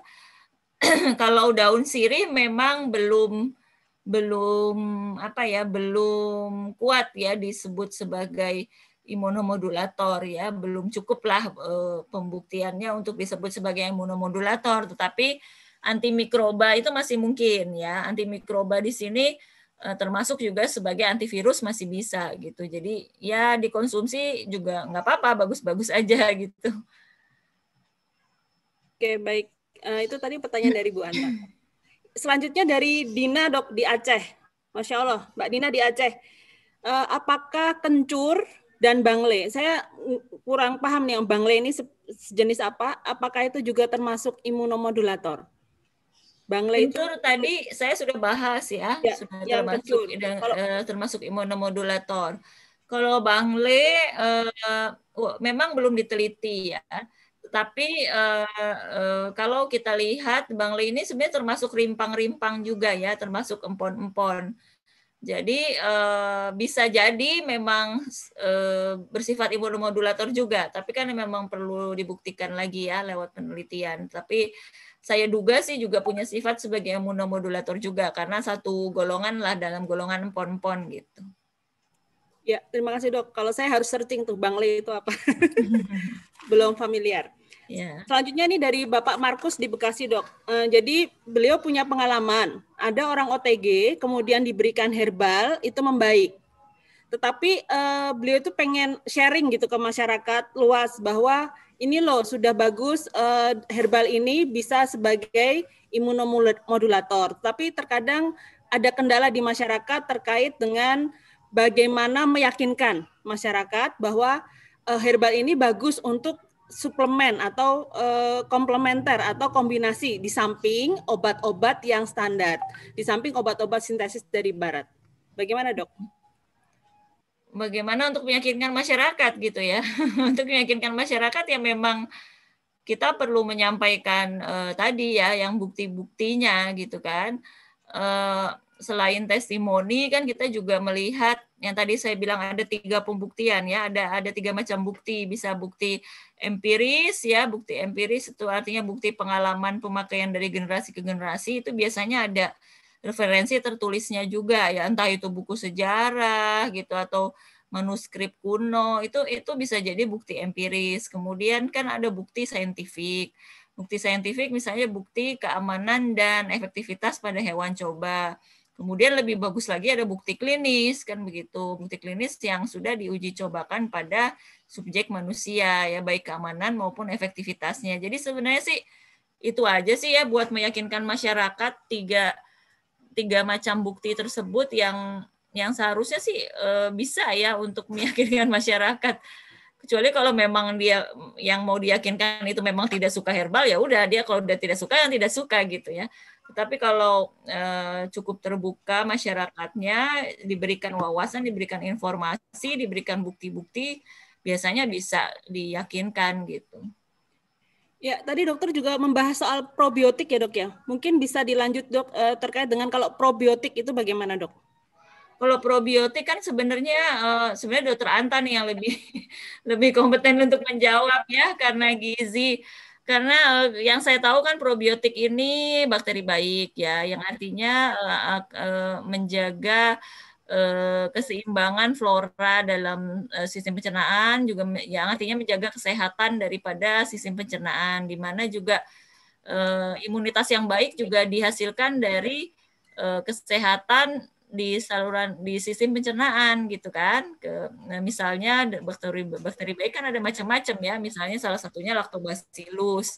Ya seperti itulah gitu ya. Dokter Anta lebih lebih ini lagi lebih kompeten lagi menjelaskan ini nanti pembicara tambahan, Dokter Anta. Lanjut ya dok, ini pertanyaannya yeah, yeah. masih banyak. Uh, terkait dengan uh, dari Ibu Nurul di Solo dan Bapak Teguh di Semarang, terkait dengan uh, beberapa penyakit, uh, misalnya GERD, uh, gastroesophageal reflux, uh, apakah herbal yang baik untuk penyakit GERD? Kemudian kalau misalnya ada pasien dengan diabetes dan hipertensi, uh, apakah uh, herbal yang bagus untuk pasien hipertensi dan diabetes ini? dengan komorbid HT dan DM. Kemudian juga apakah herbal itu uh, bisa meningkatkan kreatin, Dok? Kreatinin. Oh. Uh, tadi yang pertama apa tadi? Jadi jadi lupa saya pertanyaan pertama. GERD, Dok, GERD.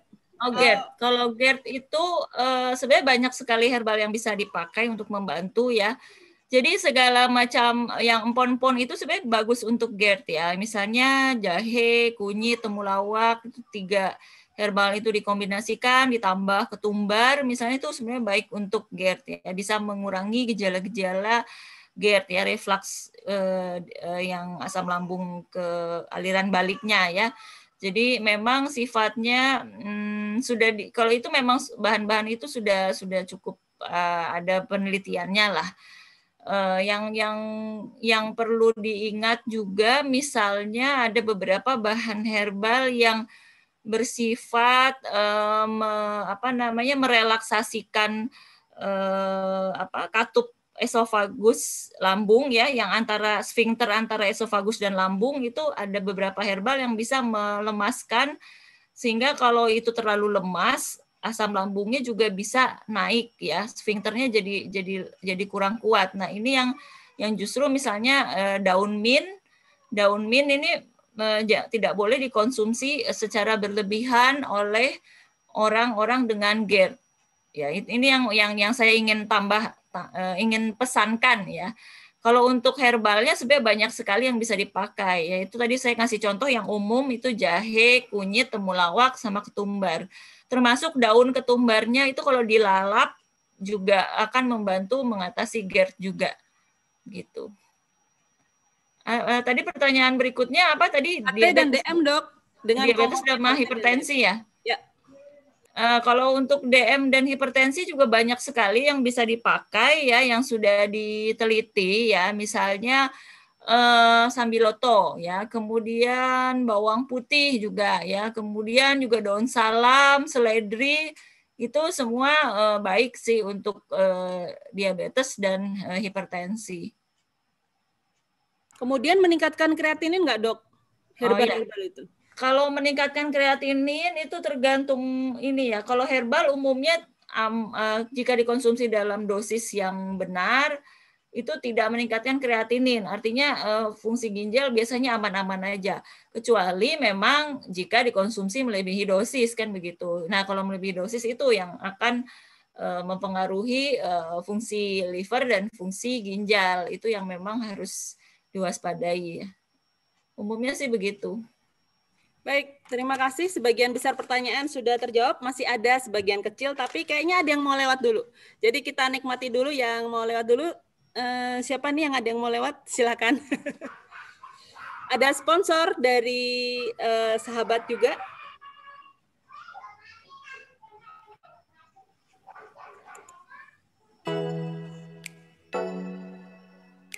luar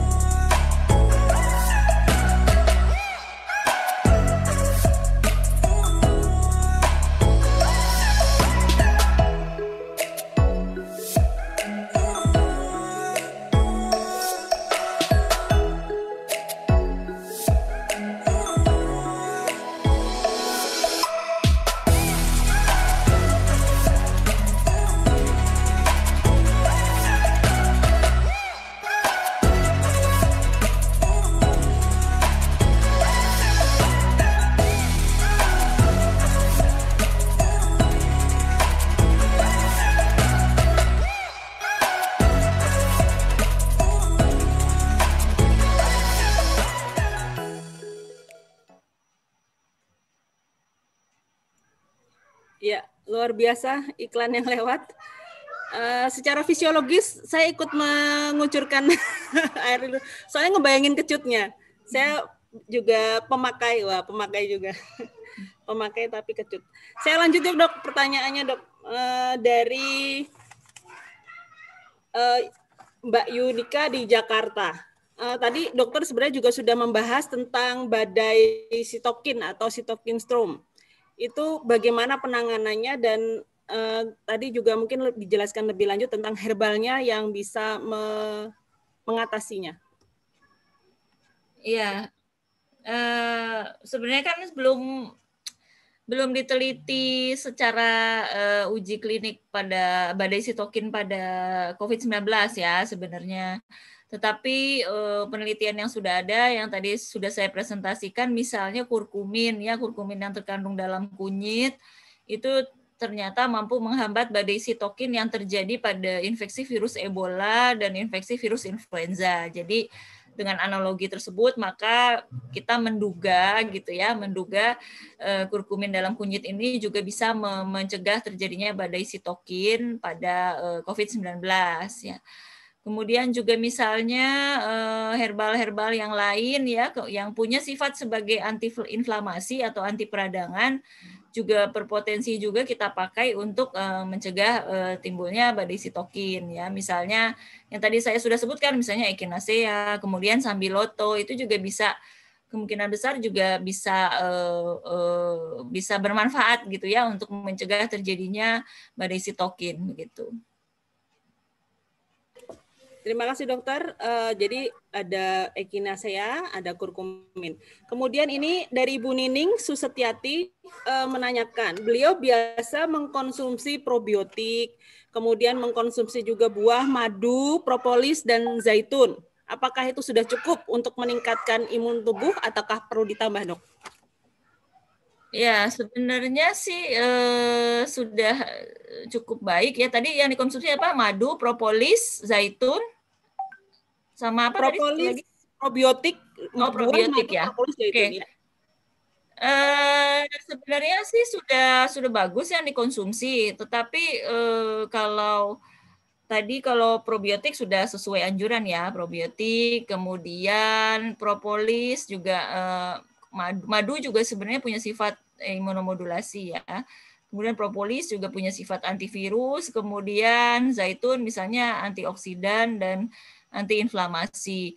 Eh, bisa juga ditambah satu jenis herbal lagi ya yang sudah jelas yang yang yang artinya uh, sudah confirm dia sudah confirm secara kuat bahwa dia bersifat imunomodulasi tadi herbal yang saya sempat sampaikan dalam presentasi saya ya, misalnya bisa ditambah kunyit gitu ya atau misalnya tambah dengan meniran ya itu bisa dicoba bisa ditambah satu lah intinya melengkapi yang tadi sudah dikonsumsi. Atau tambah jintan hitam misalnya begitu. Ya dok kalau jintan hitam itu nama lainnya habatus sauda itu ya dok ya? Iya iya.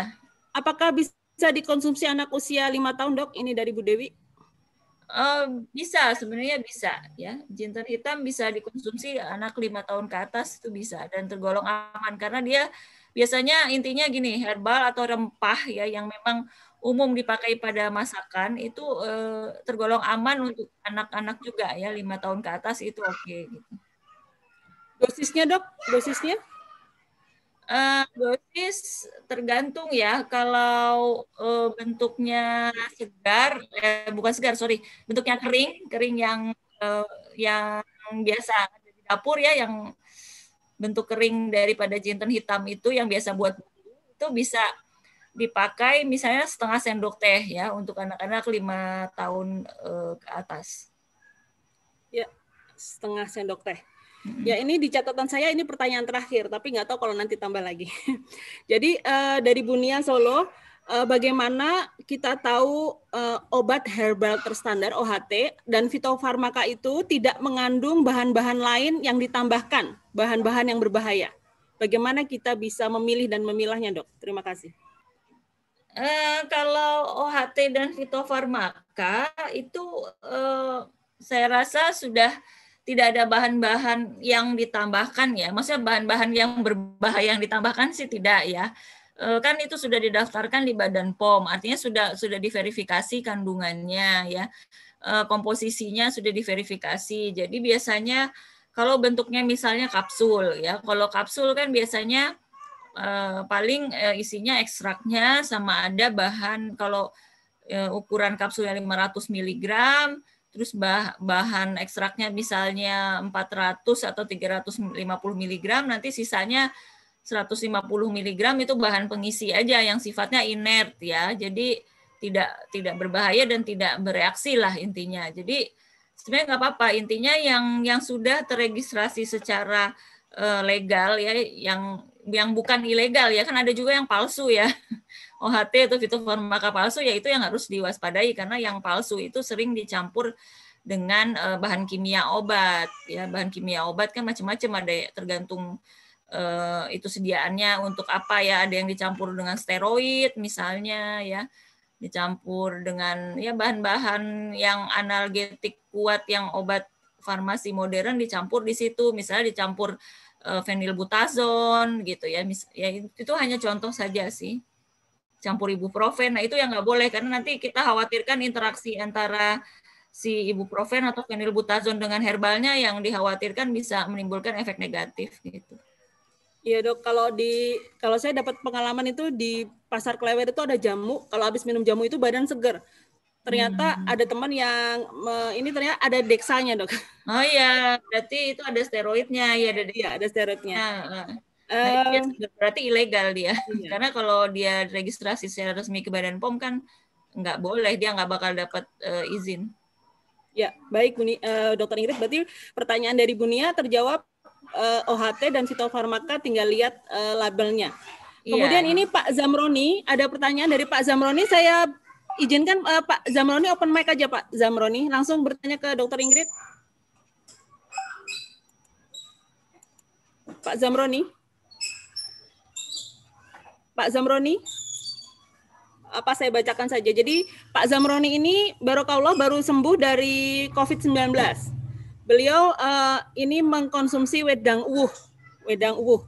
Uh, apakah cukup untuk meningkatkan imunitas tubuh beliau? Begitu. Ya, ya. Jadi wedang uwuh itu itu sebenarnya memang mengandung eh, bahan-bahan herbal yang memang bersifat imunomodulasi ya. Kan ada jahenya, kemudian ada secangnya, ya secang juga sebenarnya bersifat imunomodulator ya. Kemudian kan kadang ditambahkan, eh, tapi nggak nggak selalu ada ya. Ada yang tambahkan kayu manis ya. Kemudian ada kadang-kadang ada yang nambahin cengkih. Ya itu sebenarnya semua imunomodulator sifatnya. Jadi ya memang saya tidak heran juga dengan mengkonsumsi wedang u itu dia bisa lebih Bapak Zamroni ini bisa lebih cepat sembuh misalnya gitu. Ya, Sebenarnya saya bersyukur sih tinggal di Solo. Uh, he, he itu hidangan khas ya. Jadi ada wedang uwuhnya. Jadi tinggal order wedang uwuh ada. Alhamdulillah. Kalau di Jakarta ada nggak dok? Uh, uh, iya nggak ada ya. Kayaknya kita harus bikin sendiri ya. Harus saya juga di rumah wedang uwuh bikin sendiri ya. Beli secangnya. Ya, Masya Allah. Bikin sendiri. Oke, kalau ini dok, satu pertanyaan lagi dari Bu Siti Nurhayati herbal apa yang bagus buat obat penyakit paru-paru, khususnya paru-paru basah? Mungkin pneumonia ya ini yang yang dimaksud. Iya, yang juga iya. salah satu atau, atau mungkin bisa juga bronkitis ya. Ya bronkitis satu. Jadi banyak herbal yang bisa dipakai sih ya. Jadi e, contohnya yang banyak diteliti itu sambiloto ya. Sambiloto itu banyak diteliti untuk e, berbagai penyakit uh, sistem pernafasan. Ya di antaranya memang tuberkulosis kemudian bronkitis pneumonia itu uh, yang banyak, sudah banyak diteliti lah. Sambiloto itu bisa kita pakai terus bisa dikombinasikan lagi dengan temulawak yang yang punya sifat uh, antiinflamasinya juga bagus. Jadi dan akan menambah nafsu makan juga sih ya. Tapi nggak nggak tidak akan menimbulkan obesitas lah gitu ya dan juga uh, akan meningkatkan vitalitas. Jadi bagus misalnya sambiloto dikombinasi dengan temulawak. Itu sih yang yang bisa saya rekomendasikan ya. Di samping memang sebenarnya ada ada beberapa herbal lainnya juga sih yang yang cukup bagus. Misalnya ada patikan kebo ya, tapi patikan kebo kan susah didapatkan. Jadi yang yang lebih mudah didapatkan ya misalnya ya sambiloto sama temulawak itu gitu. Ya, sambiloto dan temulawak. Kemudian dok, ini kan ada eh, bagaimana tanggapan dokter terkait dengan pasien-pasien yang sudah sembuh dari COVID itu ada di salah satu rumah sakit di Padang setelah mengkombinasikan pengobatan medis dan salah satu produk herbal ternama. Bagaimana tanggapan dokter terkait ini? Dan yang salah satu, produk herbal ternama apa nih? Ada infonya nggak? Spesifiknya? Ya ini nggak ada ya, cuman produk herbal ternama gitu ya? aja. Saya juga nggak tahu. Oh iya. Jadi, Jadi ya sebenarnya ya ya, ya wajar-wajar saja ya. Hmm, dan, dan dan sangat masuk akal ya karena memang kenapa tolak angin ya bisa juga ya karena tolak angin juga mengandung bahan-bahan yang sifatnya imunomodulator ya jadi eh, seperti di Cina aja kan dia secara mengkombinasikan uh, obat standar dengan obat herbalnya. Jadi memang bisa saling komplementer gitu, bisa saling bersinergi untuk mempercepat penyembuhan dan juga dia kalau herbal itu kan juga membantu mengurangi efek samping dari si obat standarnya gitu. Ya baik, uh, makin malam, makin sore makin hangat tapi karena terkait waktu uh, mau tidak mau kita harus tetap mengakhirinya. Uh, tapi satu lagi dok pertanyaan karena ini dari dokter Sally di Wonogiri. Masih di Wonogiri nggak ya Bu Sally? Apa ada penegatan herbal untuk tumor otak dok?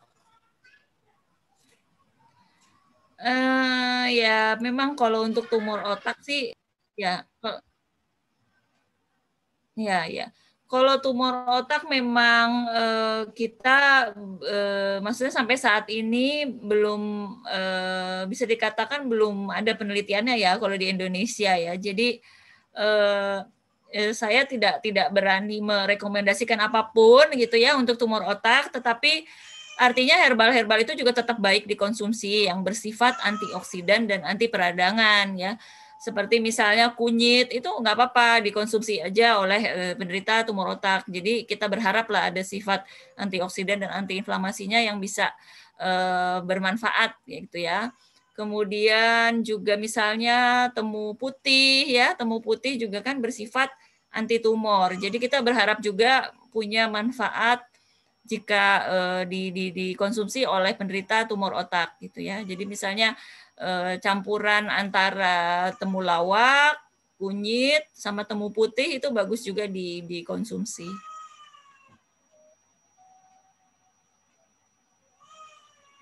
Ya, terima kasih dokter. Uh, sepertinya ini sudah sampai di penghujung waktu karena di Solo sudah hampir maghrib gitu. Uh, terima kasih kepada dokter Ingrid dan para peserta yang telah luar biasa tanggapannya. Uh, sore ini kita bisa mendapatkan ilmu yang luar biasa, tapi yang yang paling saya suka tadi taburan kelor.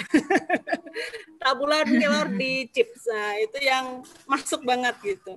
Yang lainnya uh, mungkin uh, macam-macam ya tadi ada bahan segar, ada serbuk, kemudian ada ekstrak, itu perlakuannya juga macam-macam. Mungkin terakhir dokter uh, bisa closing statement dari dokter Ingrid uh, tentang pembicaraan kita sore hari ini.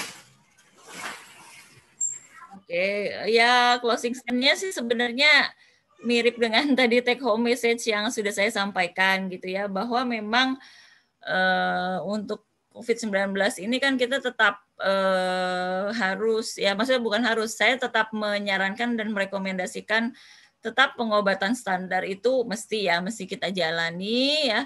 Uh, tetapi juga uh, akan lebih baik lagi kalau uh, dikombinasikan dengan beberapa herbal ya yang tadi saya sudah sampaikan. Karena memang potensinya sangat baik sekali dalam uh, mempercepat penyembuhan ya dan juga mengurangi efek samping dari obat standar. Kenapa bisa eh, punya potensi mempercepat penyembuhan? Karena memang eh, sudah diteliti misalnya punya sifat sebagai imunomodulator ya. Dan di samping itu kan di dalamnya ada sifat anti peradangan atau anti inflamasi kemudian ada potensi juga sebagai antivirus. Jadi itu ikhtiar yang ya bisa dibilang cukup lengkap ya secara uh, substansi secara senyawa yang masuk ke dalam tubuh kita gitu ya ada ada obat standar dan juga ada uh, herbal ya Di samping memang ikhtiar yang lain ya doa dan sebagainya gitu. Itu aja sih saya yang mau saya sampaikan. Dan Baik. ya tentunya ya kalau pesan-pesan standar buat umum masyarakat umum ya tetap patuhi protokol kesehatan gitu kan begitu. Jadi memang udah mesti komprehensif lah eh, penanganan kita terhadap COVID-19. Ya, muncul satu orang fans dok uh, untuk dokter Ingrid. Dokter Ingrid prakteknya di mana? Uh, siapa tahu bisa ngeluruk ke dokter Ingrid ada fansnya dok muncul iya, fans iya, jadi saya dari zoom meeting kali ini jadi saya saya sekarang sih memang terus terang lagi mengurangi praktik nanti 100 ya. orang uh, semua jadi bisa dengan perjanjian aja dengan perjanjian dan bisa kontak saya boleh berikan aja nomor WA saya eh, di Jakarta Timur lah intinya di dekat rumah ada ada ada praktek mandiri gitu. Baik nanti uh, bisa jalan belakang lah uh, urusan WA tadi ya Bu Seli, Dokter Seli kalau mau uh, kontak Dokter Ingrid. Ya uh, keren banget sore hari ini kayaknya tambah kita optimal memakai obat standar tapi juga obat herbal uh, sebagai komplementer dan juga sudah diteliti secara empiris maupun secara evidence base juga sudah ada meskipun harus terus dilakukan penelitian tetap bisa kita jalani dua-duanya ya jadi komplementer jadi mungkin kita nggak nggak hanya kan oh ya satu lagi eh, ada buku bagus bukunya keren banget yang menulis juga anggota pro kami juga, Dokter Siti Aisyah. Kayaknya istrinya Dokter Eka ya? Iya. Betul dok, betul, betul, betul. Ya, betul. Dokter Siti Aisyah ya. Uh, tentang Tibu Nabi uh, bisa diklik di chat ada linknya. Bukunya keren banget dan saya sudah baca resumnya meskipun belum punya dan kayaknya kepengen. Jadi uh, silakan bisa berminat, bisa mengontak ada linknya di situ di chat kita uh, di YouTube link juga ada uh, chatnya terkait dengan buku Tibun Nabi. Jadi siapa tahu dengan membaca Tibun Nabi tambah lagi uh, inspirasi kita terkait obat-obat uh, Islam, obat-obat herbal, obat-obat yang memang disunahkan. Mungkin itu sore hari ini saya mengucapkan terima kasih sekali kepada Dr. Ingrid Tania, Dr. Dr. Ingrid Tania MSI, Herbal, yang sangat luar biasa, memberikan ilmu yang sangat inspiratif dan membuka wawasan baru, dan juga um, makin meyakinkan bahwa uh, obat-obat herbal sebagai produk asli Indonesia bisa juga kita gunakan, uh, kita manfaatkan sebagai uh, obat komplementer dari uh, obat-obat standar yang ada. Terima kasih. Applause dong buat Dokter Ingrid. Iya, terima kasih banyak Dokter Ingrid. Sehat selalu Dokter. Ya, sama-sama. Ya, Sehat semoga selalu segera. buat semua. Ya. Terima kasih Kalau ada Ingrid. ujian terbuka boleh, Dok. Sama-sama, Nanti main deh ke Jakarta Timur, dicari oh, ditunggu. Silakan. Ya, terima kasih. Uh, terima kasih mari kita kita tutup dulu ya. Kita tutup dulu nanti bisa saya hang tutup dulu kita dengan membaca hamdalah bersama-sama. Alhamdulillah. Amin. Tes buat kita semua tetap sehat, tetap luar biasa. Dokter Ingrid, terima, terima kasih. Ya, open mic-nya. Bu, ada foto Bu Anta? Ya. Ada foto. Foto, foto Bu, foto. Oh, foto. foto. Oh, bisa foto ya. Mas Ufuk, tolong Mas Ufuk. Bu Antan yang motoin ya. Iya. Bentar, ini. Udah Mas Ufu. Sat, ya, satu, dua, tiga. Lagi. Satu, dua, tiga. Lagi, satu, dua, tiga. Lagi, satu, dua, tiga. Sudah ya? Oke. Okay. Terima kasih. Uh, silakan nanti ditunggu acara-acara pro kami selanjutnya uh, di channel dan gelombang yang sama meskipun di waktu yang berbeda. Uh, selamat beraktivitas. Uh, semoga silaturahimnya tetap terjaga. Assalamualaikum warahmatullahi wabarakatuh. Waalaikumsalam warahmatullahi wabarakatuh. Terima kasih Dokter Ingrid. Jangan ya. Sami. Ah, Oh ini ada teman saya Pak Edi nih. Pak Oh, Edi Pak dari Edi. Depok. Pak Edi dari Depok. Itu Pak Heri, Pak Heri Herianto, Masya Allah. Kayaknya ini Iya. dari seluruh Indonesia nih, dari Aceh juga ada tadi ya, Dari Aceh, dari Mantan, lengkap. Kalimantan Iya. ya, lengkap semua. Ya, terima kasih Dokter Ingrid. Iya. Di antara kesibukannya. Terima kasih Dokter Inggris, supaya sehat selalu. Iya. Kesehatan. Ya, yang mau ini dipersilahkan. Saya lab ya. Ya, Dokter terima terima kasih kasih, dokter. Dokter. Iya, Ya, saya juga izin izin live ya. Terima kasih Terima kasih. semua. dokter ya. Ya, jazakumullah Terima kasih. khairan kasir. Assalamualaikum Waalaikumsalam ya. Waalaikumsalam warahmatullahi wabarakatuh. Waalaikumsalam warahmatullahi wabarakatuh.